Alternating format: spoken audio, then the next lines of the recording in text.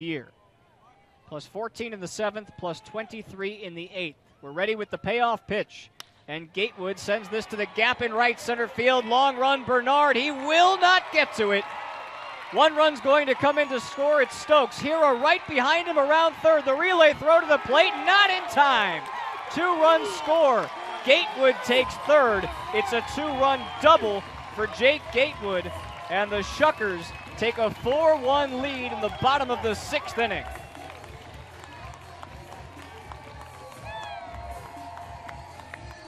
Jake advances to third base on the throw. He's 90 feet away from scoring.